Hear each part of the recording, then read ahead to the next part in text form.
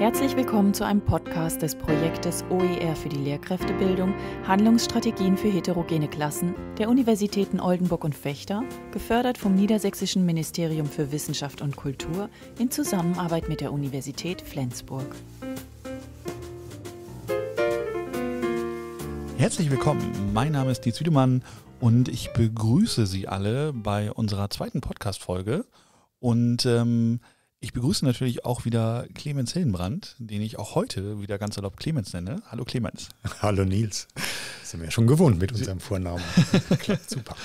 Und äh, wir haben ja letztes Mal das Thema ähm, guten Unterricht angesprochen, haben also direkt mit einem großen Thema angefangen.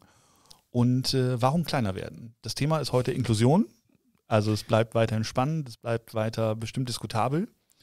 Und ähm, ich würde direkt mal ins Thema einsteigen und äh, habe mir natürlich wieder ein paar Fragen überlegt für dich und äh, gehe davon aus, dass du die wieder ganz zielgerichtet beantworten kannst.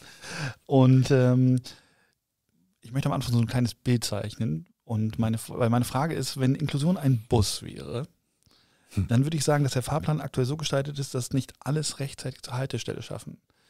Ist das Tempo dieses Busses so, weil man das gehört hat, der Bus ist zu spät losgefahren vom Busdepot und alle kommen nicht mehr mit? Oder das wäre so mein Gefühl? Vielleicht kannst du das was sagen. Das ist ja ein ganz neues Bild, was du da entwickelst, lieber Nils. Boah, ja, also was kann man damit assoziieren? Also ich sag mal, so Bilder helfen uns ja immer so ein bisschen die Situation zu verstehen, was da passiert. Und ein Stück weit war es natürlich so, dass die Situation uns alle ein bisschen überrascht hat. Natürlich gab es im Fach oder auch international gab es Debatten um Inklusion. Als dann 2009 der Bundestag so nebenbei das mal so unterzeichnet hat in der Nachtsitzung und, und kaum noch Leute da waren, die da Verantwortung wirklich übernommen haben, muss man sagen, da, da startete ein Bus, von dem niemand wusste, dass der so losgeht. Und wie breit dann die Welle war und wie, ähm, ich sag mal, welche Geräusche der auch gemacht hat und was der alles nach sich gezogen hat, das war wirklich überraschend. Und dein Bild, finde ich, passt schon. Viele fühlten sich nicht mitgenommen. Viele fühlten sich vielleicht überrollt. Ähm, viele hatten den Eindruck, der fährt in eine falsche Richtung. Ähm, und andere haben gesagt, der fährt noch viel zu langsam. Und, und diese Zerreißprobe, das hat die Diskussion unheimlich aufgeladen. So die ersten zehn Jahre nach 2009, ähm, da gab es wirklich vehemente Auseinandersetzungen, auch mit großem Engagement, sehr unterschiedliche Positionen. Das ist Inklusion und das ist nicht Inklusion und das wird dem gar nicht gerecht und das ist ein völlig falsches Verständnis. Solche Debatten hatten wir heftigst.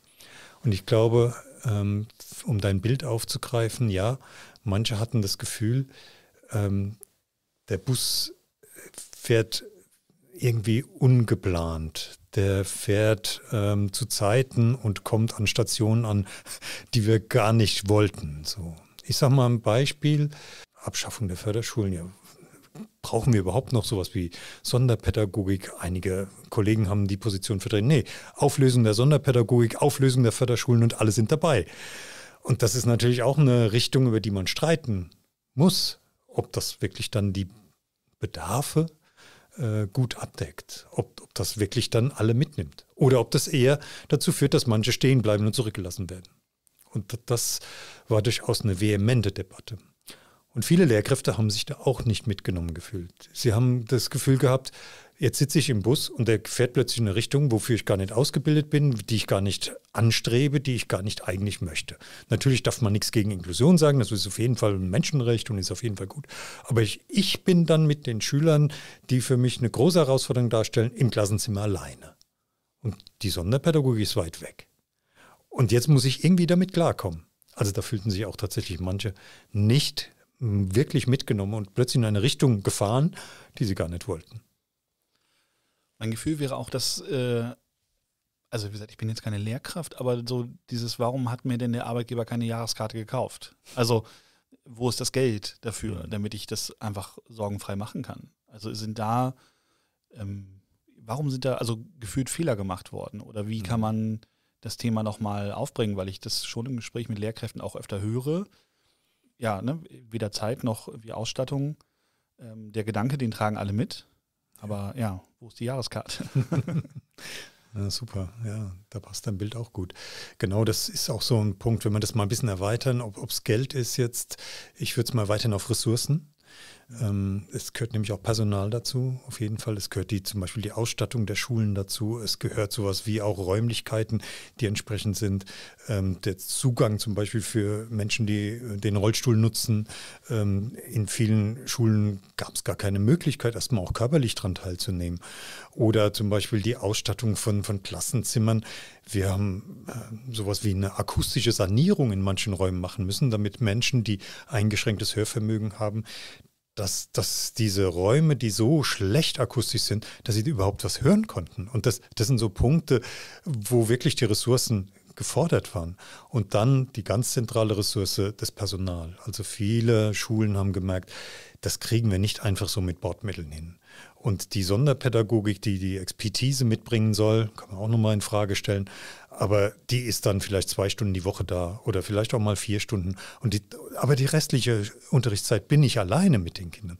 Wie kriegen wir eine Ressource hin? Dann hat man angefangen mit, ähm, mit Inklusionshelfern, also sogenannten Non-Professionals, die also jetzt nicht ein Studium oder eine Ausbildung absolviert haben, irgendwie versuchen zu, zu Lücken auch zu decken, Lücken zu schließen. Eltern haben Anträge gestellt auf besondere Unterstützung für ihr Kind. Die durften dann aber nicht mit den Klassen arbeiten, sondern mussten sich auf das einzelne Kind konzentrieren. Dann war das Kind ganz isoliert, weil es gab immer eine erwachsene Bezugsperson und warum soll ich dann mit meinem Mitschüler? Also, verstehst du, das waren so viele Sachen, die gleichzeitig losgeprasselt sind und, und auch so komplexe Anforderungen.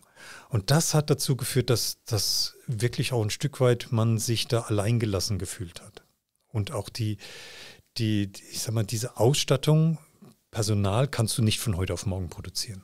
Wir haben eine Aufstockung der Ausbildungsplätze für Sonderpädagogik ganz massiv in den letzten zehn Jahren erlebt, aber bis die dann in den Schulen ankommen, das dauert ja sechs, sieben Jahre. Und dann müssen die erstmal den Abgang ersetzen und so weiter. Also das war wirklich oder ist, glaube ich, bis heute eigentlich eine Unzufriedenheit mit dieser Aufgabe, vor die man plötzlich gestellt wird, wo man nicht einen Prozess der Entwicklung hin zur Qualifikation, hin zu den Ressourcen, die ich auch sinnvoll einsetze, wo man nicht einen solchen Prozess, wo man nach Fahrplan, um dein Bild nochmal aufzugreifen, wo man nach Fahrplan auch ein Stück weit strukturiert vorgeht. Und da fühlten sich viele überfordert, überfahren. Hm, eine Frage, die sich mir noch gestellt hat, wo wir, ich meine, das passt natürlich jetzt auch perfekt in das Bild rein, aber ähm, ich habe bei euch eine Formulierung gelesen oder die habt ihr, glaube ich, auch übernommen, ähm, dass die Inklusion ein nie endgültig zu erreichendes Ziel ist. Und dann habe ich mich gefragt, wie kann das irgendwann auch mal befriedigend sein für Lehrkräfte? Hm. Also das ist ja auf der einen Seite ein sehr realistischer und guter Ansatz, sehr offener Ansatz, aber was heißt das für die Arbeit mit der Inklusion? Also wann kann ich, wie sind die, sind, gibt es Etappenziele, wo du sagst, okay, das sollte man betrachten? Oder ja, wie geht man damit um? Super, das ist eine ganz zentrale Frage generell im Lehrerberuf. Also Lehrkräfte, wann kriegen die denn mal eine Erfolgsrückmeldung? Würde ich dich mal fragen. Also wann hast du denn als Lehrkraft mal Erfolg gehabt?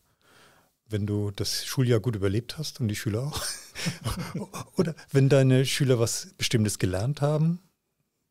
Wird das überhaupt kontrolliert? Wird das überhaupt gemessen für dich? Also kriegst du sowas wie ein positives Feedback als Lehrkraft? Es ist immer zu wenig. Immer. Und das ist ein grundlegendes Problem bei dem Job. Und das trifft natürlich bei Inklusion nochmal deutlicher zu. Und eigentlich ist das genau ähm, ein grundlegendes Dilemma von akademischen Berufen. Wann hast du jemals wirklich Erfolg? Und gerade solche, ich sag mal, äh, weichen Dimensionen wie Lernerfolg, soziale Kompetenzen, emotionale Zufriedenheit.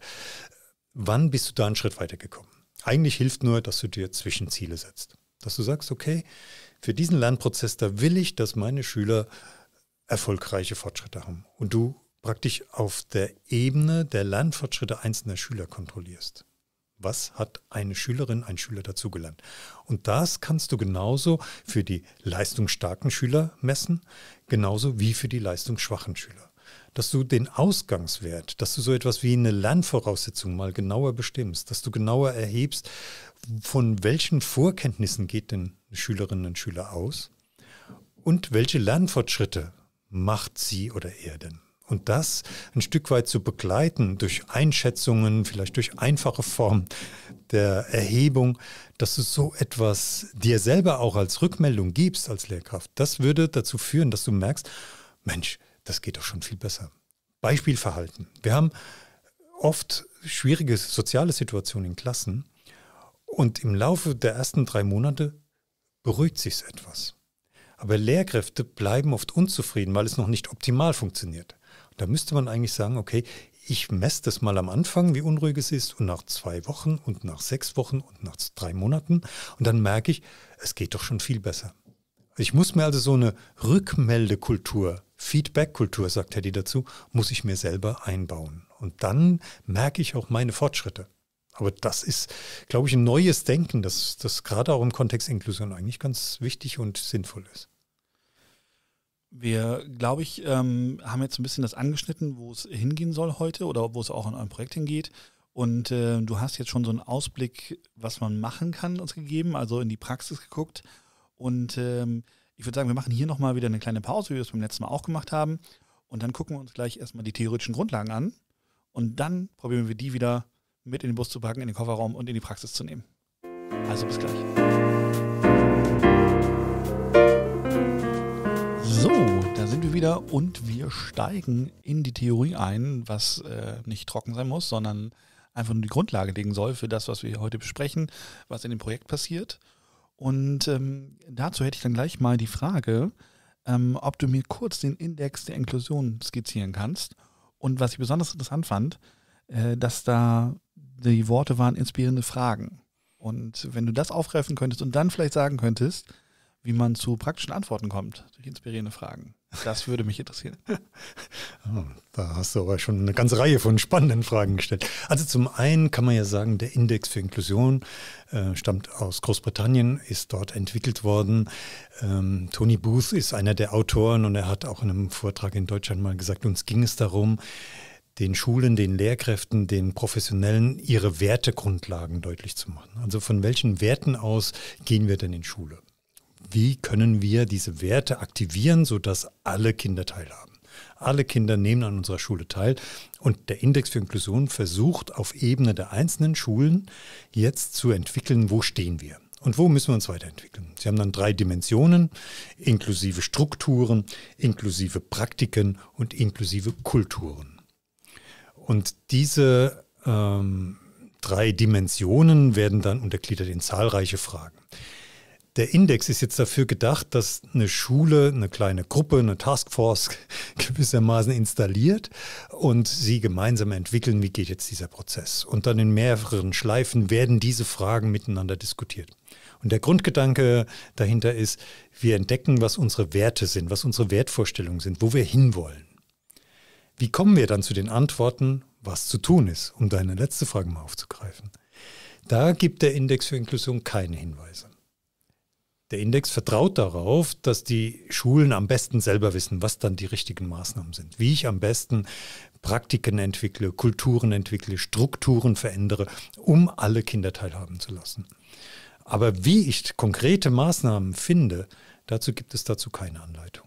Aber der Index ist kostenlos dann zur Verfügung gestellt worden. Viele, viele Schulen haben damit gearbeitet und äh, viele haben sich auf so einen Prozess gemacht, äh, auf so einen Weg gemacht und haben, glaube ich, viel Engagement und viel Herzblut eingesetzt, sich da auf diesen Weg der Inklusion mit Hilfe dieser Strukturierung zu machen. Da ist es bestimmt hilfreich. Der Punkt ist, was kann ich konkret tun? Da ist nach meiner Einschätzung, braucht es mehr Hilfen als im Index stecken. Also ich halte es auch für sinnvoll zu sagen, wir geben die Antwort nicht vor, weil es ja tatsächlich auch sehr heterogen ist und man bestimmt nicht für alle Schulen was vorgeben kann, was dann die richtige Lösung ist. Von daher ähm, kann ich den Ansatz schon nachvollziehen. Ähm, wir wollen aber heute ja noch mal so ein bisschen auf die Praxis dann noch rauskommen. Ähm, aber um diesen Blog nicht zu verwässern und nicht das Versprechen zu brechen, dass wir jetzt die Theorie besprechen, ähm, würden wir einfach noch mal die anderen beiden Dinge, die prominent Erwähnung finden bei euch, ähm, aufzeichnen. Und da wäre für mich der nächste Punkt, dass da die Qualitätsskala zur inklusiven Schulentwicklung ein Thema ist. Auch das vielleicht kurz als Grundlage von dir beschrieben. Ja, das ist ein ganz spannendes Instrument, auch auf Ebene der Schule ähm, wo Schulen auch miteinander besprechen, aber konkretere Anleitungen bekommen, konkretere Hilfen bekommen. Und damit haben eine ganze Reihe von Schulen in Bayern gearbeitet. Kollege Ulrich Heimlich und sein Team haben dieses Instrument entwickelt und haben ein bestimmtes ökosystemisches Modell, wie Schulentwicklung geschehen kann und geben damit auch ein bisschen mehr Struktur vor, wie man auch Veränderungen auf den Weg bringt. Und damit liegen auch empirische Befunde vor, was beim Index so erstmal nicht ist, aber die Skala ist also tatsächlich auch empirisch geprüft und da sehen wir also, das hat auch Effekte und gerade auch die Kooperationsqualität wird dadurch gesteigert und das scheint so ein Schlüssel zu sein, wie Schulen gut diese Aufgabe der Inklusion bewältigen. Also nicht der Einzelkämpfer, der in seiner Klasse jetzt mit diesem einzelnen Schüler irgendwie versucht, eine Lösung zu finden, ist die Antwort auf die Aufgabe der Inklusion, sondern wie können wir uns als Schule, als Kollegium, als Team weiterentwickeln? Welche nächsten Schritte können wir tun? Und da hilft die Quiz doch deutlich mehr. Und da haben wir auch ganz positive Befunde, wo Schulen uns berichten, damit kommen wir ein ganzes Stück weiter. Das ist ja immer ein guter Punkt, wenn man auch das Feedback dazu hat und das dann auch weitergeben kann. Von daher ähm, auch wahrscheinlich ein ganz guter Ansatz und bei euch zu finden in sozusagen in dem im Text und auch frei zugänglich für alle Schulen okay. und wahrscheinlich auch schon bekannt. Ja, Oder ist das noch nicht bekannt genug? Ja, ich, man könnte immer noch mehr tun, das mhm. ist auch klar. Aber die Quiz ist zum Beispiel an alle Schulen, die sich auf den Weg gemacht haben in Bayern, vergeben worden. Und ähm, es gibt leicht zugängliche Informationen dazu. Und äh, das kann man wirklich auch gut nutzen. Also die Zugänglichkeit ist ganz klar da. Letzter Teil der Theorie, also die wir jetzt erstmal sozusagen angehen wollen, ist äh, das 4a-Schema. Und äh, da, ja, ich habe so das Gefühl, dass es so ein bisschen ähm, immer von Ist-Zuständen und Bedürfnissen ausgeht. Also alle von diesen Theorien haben ja irgendwie das in sich. Aber wenn du vielleicht einfach das 4a-Schema nochmal erklärst und wir einfach so ein bisschen auf diese Frage von Bedürfnissen und Ist-Zuständen nochmal eingehen können. Ja, sehr gerne.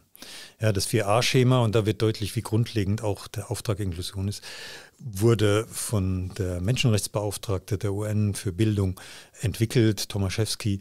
Ähm, sie hat von 4a-Schema gesprochen, um deutlich zu machen, dass Bildung für alle zugänglich sein muss. Wir denken bei Inklusion ja ganz oft daran, dass Menschen mit Behinderung, Kinder, Jugendliche mit Behinderung jetzt in die allgemeine Schule kommen. Wenn man aber die UN-Konvention wo Inklusion die Aufgabe ist, wenn man sich das anschaut, dann ist Bildung nur ein Artikel von 50.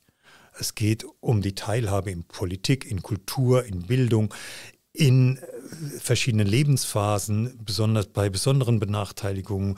Äh, weltweit betrachtet haben ja einfach Frauen mit Behinderung, haben eine mehrfache Benachteiligung. All das wird in der UN-Konvention angesprochen. Und das 4a-Schema ist jetzt die Anwendung dieses ganz breiten Menschenrechts auf Teilhabe und Partizipation auf das System der Bildung, und zwar lebenslange Bildung. Also schon vor Schule, Kindergarten sowieso, aber auch schon frühe Förderung, bis hin zum lebenslangen Lernen.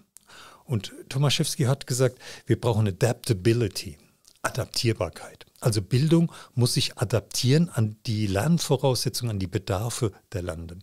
Da muss ich so etwas wie eine Gebärdensprachzugänglichkeit muss ich sicherstellen. Ich muss für Menschen, die Sehbeeinträchtigungen haben, muss ich technisch eine entsprechende Kompensation ermöglichen. Ich muss wirksame Lernmethoden für Schülerinnen und Schüler, die Lernschwierigkeiten haben, zur Verfügung stellen. Adaptability, also Anpassung. Availability.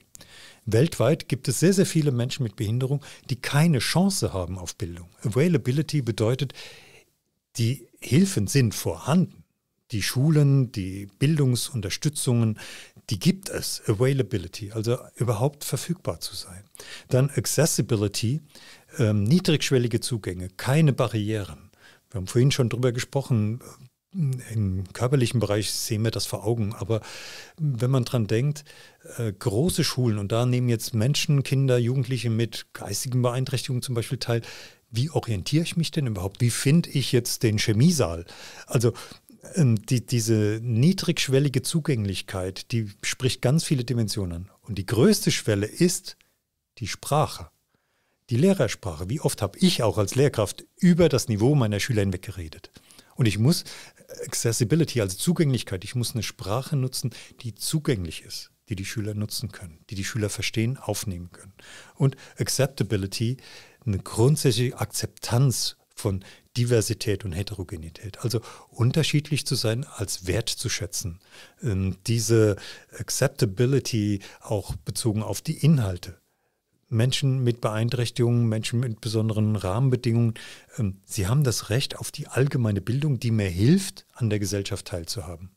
Da siehst du, wie ich sag mal, wie fundamental dieses 4a-Schema eigentlich ist. Und das kommt uns so selbstverständlich vor. Aber wenn wir das mal runterbrechen auf einzelne Lerngruppen, auf einzelne Schülerinnen und Schüler, dann merken wir, wie brisant diese vier Dimensionen sind und welche fundamentale Aufgaben damit gestellt werden. Und du hast vorhin auch schon so gefragt, wie können wir Erfolg erleben? Wenn wir einen Schritt weiterkommen, ist es ein Erfolg. Wenn wir ein Stück weit mehr Zugänglichkeit schaffen, dann sind wir auf einem guten Weg. Und da geben uns dieses 4a-Schema, gibt uns sowas wie ähm, Leitlinien der Entwicklung an. Ich frage mich so ein bisschen, also du hast ja vorhin auch gesagt, sowas muss auch im Kollegium gelöst werden, also kooperativ. Und äh, du hast jetzt sowas Grundsätzliches angesprochen und dann stellt sich für mich die Frage, wo nimmt Bildung was, kann Bildung Hilfe von der Gesellschaft schon kriegen, weil da ein Teil der Inklusion schon vielleicht irgendwie einen Schritt weiter ist oder in eine andere Richtung gegangen ist, die interessant ist. Und wo ist es die Aufgabe der Bildung, für die Gesellschaft was zu machen? Also, weil das muss ja auch irgendwie kooperativ oder kann kooperativ funktionieren, so dass es besser funktioniert, aus meinem Empfinden jetzt erstmal so gesagt. Ja, Jürgen Oelkers hat das mal so analysiert. Ein gesellschaftliches Problem wird ganz oft auf die Schule delegiert. Und äh, sagen wir früher Friedenserziehung, dann Umwelterziehung, äh, jetzt Digitalisierung. Schule mach mal. Und das funktioniert so nicht, sondern Schule ist ein Teil der Gesellschaft und Schule ist ein Riesentanker. Bis Schule sich mal ändert, bis Schule sich da was dreht und eine Richtung ändert, da muss man einen langen Atem haben. So. Und das heißt, Natürlich leistet die Schule ihren Beitrag auch zu, zu, Innovationen in der Gesellschaft, aber man kann nicht die Lösung gesellschaftlicher Probleme von der Schule erwarten. Da braucht Schule auch einen Beistand. International sieht man das sehr deutlich. Schulen, die sich auf den Weg der Inklusion machen, die haben dann auch Kontakte in die Kommune hinein. Da gibt es dann Firmen, die mitarbeiten. Da gibt es dann soziale Initiativen, die die Schule mit unterstützen.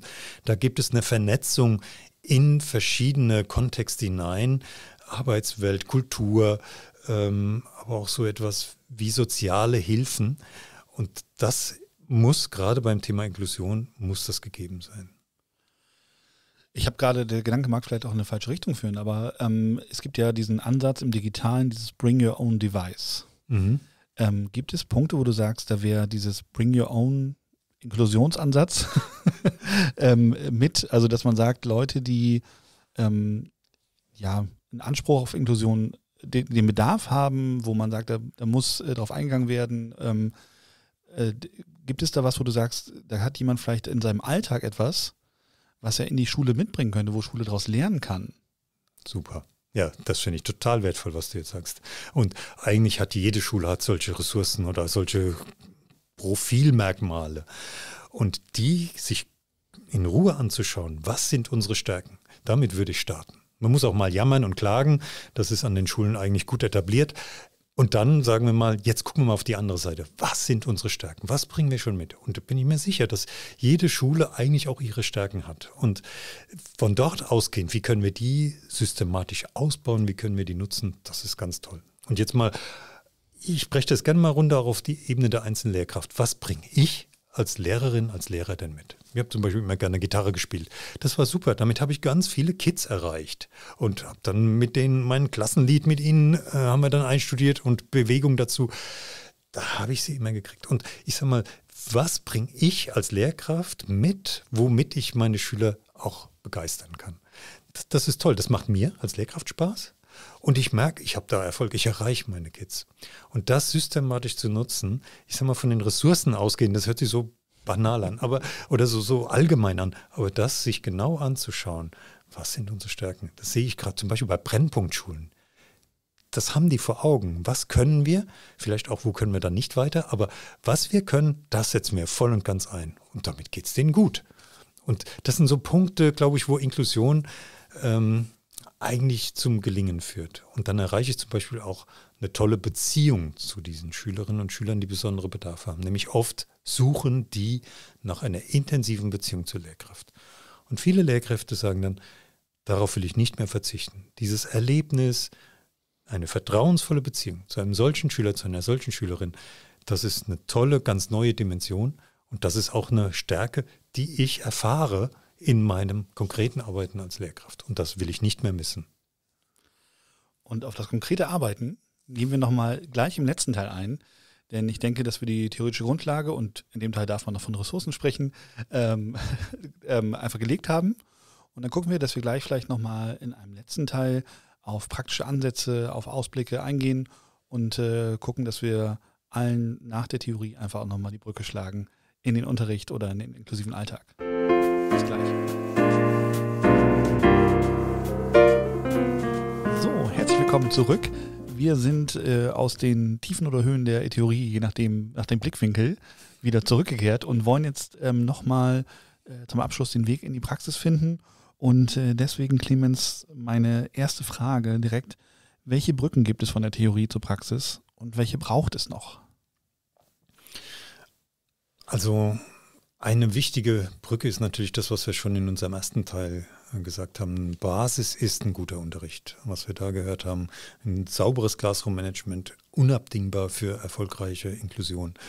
Gute kognitive Aktivierung, gutes Feedback, das sind die Sachen, die uns helfen. So, das ist erstmal die allgemeine Grundlage.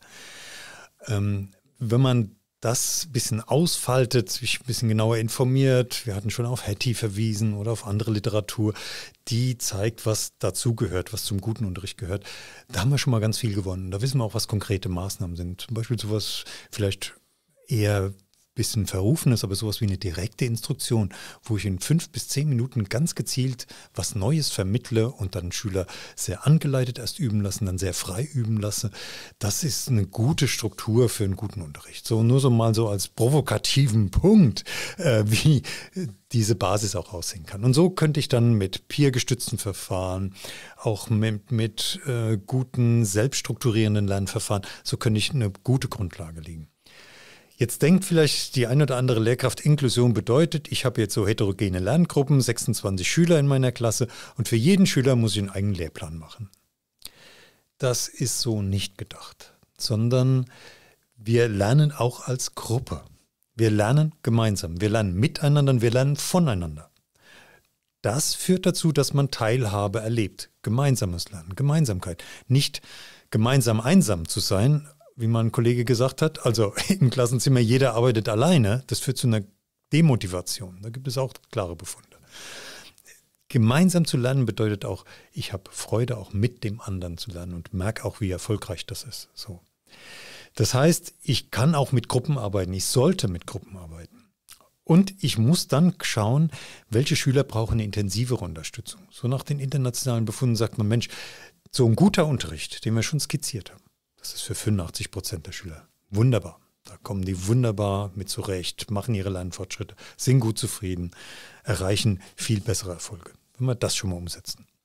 Und darauf aufbauend braucht man dann so nochmal so für 10, 15 Prozent Schüler intensivere Unterstützung, wo man nochmal gezielt anleitet, die Regeln zu beachten, sein Lernen besser zu strukturieren, sprachliche Voraussetzungen zu kennen, das Vorwissen zum Fach sich anzueignen. Da brauche ich nochmal intensive Unterstützung. Das sind dann so, ich sag mal, zwei, drei Schüler in meiner Klasse, denen ich nochmal intensivere Hilfen gebe. Und dann gibt es vielleicht nochmal einen Schüler, bei dem reicht das nicht aus. Da muss ich nochmal sehr individualisiert, sehr intensiv begleitend das Lernen, das Miteinanderlernen unterstützen. Und dann haben wir so ein bisschen ein gestaffeltes System der Unterstützung. Je nach Bedarf wird die Unterstützung intensiver. Das klärt so ein bisschen auch die Aufgaben. Die Sonderpädagogik ist besonders auch für diese intensive Form der Unterstützung zuständig. Natürlich bedeutet das nicht, ich ziehe mich aus dem Allgemeinunterricht raus, aber gerade da ist die Spezialisierung, das genaue Know-how, wie kann ich jetzt einen Schüler mit schweren Lernbeeinträchtigungen, mit herausfordernden Verhaltensweisen, wie kann ich den am besten unterstützen? Da brauche ich dann die professionelle Kooperation. Also das äh, finde ich alles sehr nachvollziehbar. Was ich nochmal ganz interessant finde, wir haben jetzt im Theorieteil nochmal diese zwischenmenschliche Komponente ähm, ja angeschnitten und dann gesagt, okay, ähm, packen wir nochmal in den nächsten Teil. Und da wäre für mich so dieses, ähm, dieses Element des auch begeistern Könns, also was ja auch, wo wir ja auch gesagt haben, das gehört zu generellen guten Unterricht, mhm. aber wo man wahrscheinlich in der Inklusion auch nochmal ähm, ja, aus den eigenen Talenten, aus dem eigenen Gitarre spielen zum Beispiel, ähm, welche Strategien du da siehst oder vielleicht auch einfach, wenn du Hinweise geben kannst, gucken sie doch mal, ob sie das und das vielleicht können und das vielleicht mitnehmen können in ein, eine Unterrichtssituation. Weil vielleicht ist ja auch manchmal dieses für eine Lehrkraft, dieses Selbstbeobachten, wo finde ich überhaupt einen Ansatzpunkt, vielleicht auch schwer. Kannst du dazu mhm. was sagen oder ist das zu weit gedacht? Also ich finde das einen ganz zentralen Punkt, den du da eigentlich aufgreifst. Wie merke ich denn als Lehrkraft selber, wie ich mich weiterentwickle? Wir wollen ja nicht stehen bleiben, sondern wir wollen uns weiterentwickeln. Ähm, da wäre so ein Punkt, dass man kollegial zusammenarbeitet. International ist das sehr klar. Lesson Study ist so ein Stichwort. Das heißt, ganz einfach zusammengefasst, kleine Teams, Zweier-, Dreier-Teams von, von Lehrkräften entwickeln sich gemeinsam weiter. Das kann sein im Fach, dass man die Fachkollegen, dass man da kooperiert und sagt, Mensch, ich will mal was Neues ausprobieren. Diese Lerngruppe stellt mich vor neue Herausforderungen. Was könnten wir zusammen tun? Man beobachtet mal zusammen, analysiert, woran liegt's. Dann versucht man was Neues, setzt es im Unterricht um, beobachtet sich dabei gegenseitig und gibt sich gegenseitig Feedback. Und das einfach so als Schleife. Lesson Study nennt sich das und da das ist einfach etabliert von Japan ausgehend in vielen europäischen und nordamerikanischen Staaten. Das gehört zur Professionsentwicklung von Lehrkräften dazu. Und dann merke ich durch die Rückmeldung meiner Kollegen, das kann ich gut, das klappt ganz gut und da muss ich mich weiterentwickeln. Und das, das sind doch super Entwicklungsfortschritte, wenn man da vertrauensvoll miteinander arbeiten kann. Von daher, kurze Antwort auf deine Frage, ich versuche es mal ich suche mir eine Kollegin, einen Kollegen, mit dem ich vertrauensvoll zusammenarbeite und wir gucken uns gegenseitig über die Schulter und geben uns gegenseitig Unterstützung. Dann bin ich auf einem guten Weg. Wie viel von der vom Lehrer privat kann da oder darf da einfließen? Weil ich sage immer so, dein Gitarre spielen, ich nehme es jetzt mal als Beispiel, hm. ist ja etwas, das du aus deinem privaten Bereich mitgebracht hast. Und ähm, wie sehr, also wo denkst du, ist da eine Grenze oder wo sind da Möglichkeiten, ähm, den Lehrer als Menschen in dieser zwischenmenschlichen Sache ähm, auch einzubringen. Und wie funktioniert das im Kollegium, sich da zu bestärken oder auch zu beobachten? Hm. Es ist so die Frage von Abgrenzung auch oder auch von Involvement. Also wie weit bringe ich mich ein? Das ist natürlich so, dass, dass jede Lehrkraft da so seine eigenen, ihre eigenen Grenzen austesten und auch erproben muss. Ähm, ganz klar ist, wenn, wenn einem auch schwierige Situationen zu sehr nachgehen, das ist nicht Beitrag, ist kein Beitrag zu psychischer Gesundheit, sondern äh, da auch ein Stück weit Abgrenzungen machen zu können oder auch so ein professionelles Coping, also eine professionelle Bewältigung einzubauen, das gehört dazu. Da ist zum Beispiel sowas wie kooperative Beratung ist ein Schlüsselkonzept, dass man wiederum mit Lehrerkollegien, ähm, mit kleinen Teams sich regelmäßig berät, eine regelmäßige ja, Supervision sagen andere dazu. Also solche Formen auch, wo man die Belastungen des Lehrerberufs auch verarbeitet, wo man miteinander versucht, auch neue Perspektiven zu entwickeln. Das ist ein wesentlicher Beitrag, um diese Spannung zwischen Nähe und Distanz, zwischen Involvement und auch Abgrenzung irgendwie auf den Punkt zu bringen. Ich glaube aber, dass gerade wenn man sich klar wird, was sind meine Stärken, die ich mitbringe, andere bringen Kunst mit, wieder andere eher Bewegung, wieder andere ein spezifisches Interesse. Einer meiner Biologielehrer, das war ein Imker, der einmal im Jahr haben wir natürlich bei dem an den Bienenstöcken gestanden. So. Und das ermöglicht eine andere Form von Beziehung. Und das sind so Punkte, ähm, ich glaube, die Lehrkraft ist immer als Person gefordert die Schüler suchen auch die Lehrkraft als Person. Das ist ein toller Lehrer. Das bezieht sich ja nicht nur auf das Fachwissen, sondern es bezieht sich auch auf den als Person. Und das sind so Punkte, ähm, die, wo ich mir, glaube ich, sehr gut überlegen sollte, was sind meine Stärken, mein, mein, auch meine Punkte, womit ich die Schülerinnen und Schüler anziehen kann. Und dies setze ich ganz bewusst ein. Und anderes grenze ich auch klar ab. Wir haben jetzt gesagt, wir sind in einem andauernden Prozess, der eigentlich nicht endet, weil er immer in Entwicklung sein soll. Ähm, trotzdem würde ich dich jetzt fragen, sind wir aktuell, ist das Glas halb leer oder halb voll, was die Inklusion betrifft? Rückfrage, welche Kriterien legst du denn an, lieber Nils? Dafür würde ich einen Experten einladen. Geschickte Strategie. Also ich sag mal so, man hat es ja am Anfang sehr stark schulstrukturell verstanden also dass Kinder mit Diagnosen, sonderpädagogischer Förderbedarf oder Behinderung, dass die jetzt in die allgemeine Schule kommen. Ähm, da gibt es in den nationalen Bildungsberichten gibt es da ganz interessante Grafiken und Statistiken und so. Da sind wir, haben wir uns wirklich stark verändert, sieht man. Ähm, das heißt, viele Kinder unterschiedlich ein bisschen nach den Diagnosen, nach den sogenannten Förderschwerpunkten. Ähm, viele Kinder sind jetzt inklusiv beschult. Eine der größten Inklusionsquoten ist im Bereich Verhalten, aber auch Lernen. Da sind über 50 Prozent aller Kinder, die so eine Diagnose haben, sind jetzt in der Allgemeinschule. Könnte man sagen, haben einen Riesenschritt vorangetan. Wenn man sich die Statistik aber näher anschaut, dann sieht man, dass die Zahl der Kinder mit Förderbedarf deutlich angestiegen ist, von 5% auf weit über 7% inzwischen. Das heißt, man hat jetzt mehr Kinder diagnostiziert. Das betrifft ganz besonders diesen Bereich Verhalten. Mehr Kinder haben eine Diagnose bekommen, die früher wahrscheinlich nie in eine Förderschule gewechselt wären, wo man nie diesen Überweisungsprozess in Gang gesetzt hätte, wie man das früher genannt hat, sondern die wären immer da geblieben. Jetzt hat man plötzlich Ressourcen durch die Diagnose kriege ich jetzt auch eine Unterstützung. Da kommen Sonderpädagogikstunden mit rein und so weiter. Das heißt, es ist ein zwiespältiges Ding, das an solchen statistisch einigermaßen verlässlichen Zahlen zu messen.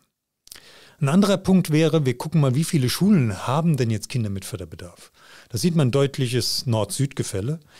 Im norddeutschen Bereich haben wir praktisch in jeder Region, haben wir in jeder Schulform haben wir die Möglichkeit zur Inklusion. Das ist erstaunlich, wenn man sich die Zahlen mal anschaut. Die Landkarte finde ich da sehr beeindruckend, denn im Süden haben wir das nicht. Da sind die Zahlen sehr viel anders. Da haben wir plötzlich nur noch 20, 30 Prozent aller Schulen in einer Region, die sich als Auftrag Inklusion gesetzt haben und das auch umsetzen. Also auch da, die Statistik ist so divergent. Ich glaube, das Entscheidende müsste eigentlich sein, werden wir den Bedarfen der Schülerinnen und Schüler besser gerecht. Und das ist gar nicht so leicht zu messen. Letztlich ist sowas wie ein, ein Outcome. Wie viele Schüler schließen erfolgreich die Schule ab? Wie viele Schülerinnen und Schüler machen dann einen guten Lebensweg über berufliche Bildung dann in eine selbstständige Lebensführung? Das müsste eigentlich unsere Perspektive sein. Inwiefern werden die Potenziale von Schülerinnen und Schülern unterstützt und besser genutzt? Und da müsste man eigentlich mit den Schülerinnen und Schülern selber reden. Man müsste sie fragen, wie geht's dir? Was hast du an Lernfortschritt gemacht? Wie kommst du mit deinen Mitschülerinnen und Schülern klar? Wie zufrieden bist du? Wie motiviert bist du zum Lernen? Also eigentlich müssten wir so eine Erhebung mit den Schülerinnen und Schülern gemeinsam machen. Aber da stehen wir, glaube ich, ganz am Anfang. Müssten wir die Kinder dann nochmal als Experten einladen für diese Frage? Völlig richtig. Und das ist total spannend, wenn du mal mit Schülerinnen und Schülern redest, wann ist Unterricht denn gut? Was macht dir denn Spaß? Wo lernst du gerne? Was wäre denn ein Thema, was dich auch interessiert? Das wäre eigentlich auch Partizipation, wäre auch Inklusion, mit den Schülerinnen und Schülern gemeinsam Unterricht weiterzuentwickeln. Wir bleiben dabei, dass die Fragen auf jeden Fall noch offen sind, dass wir gucken, dass wir ähm, die beste Antwort vielleicht darauf ist, weiterhin Fragen zu stellen. Und ähm, ich hoffe, dass wir jetzt einen kurzen Überblick gegeben haben, was äh, bei euch im Projekt äh, Thema ist, was Theorie ist, was praktisch ist. Und äh, bedanke mich fürs Zuhören bei allen, die uns heute zugehört haben. Bedanke mich bei dir, Clemens, für die spannenden Antworten und überlasse dir wieder das letzte Wort. Erstmal danke ich dir, lieber Nils, für die totalen spannenden Fragen und Bilder. Den Bus, den nehme ich jetzt mit und ich hoffe, dass da noch sehr, sehr viele einsteigen und mit steuern und auch mit zum Ziel kommen. Das wünsche ich mir. Dieser Podcast wurde unter der Creative Commons Lizenz CC BY 4.0 veröffentlicht und ist zur Weiternutzung freigegeben. Mehr Informationen zu den Lizenzbedingungen, dem Projekt und den Materialien finden Sie auch auf unserer Homepage unter www.uol.de/oer-lkp. Vielen Dank und auf Wiederhören.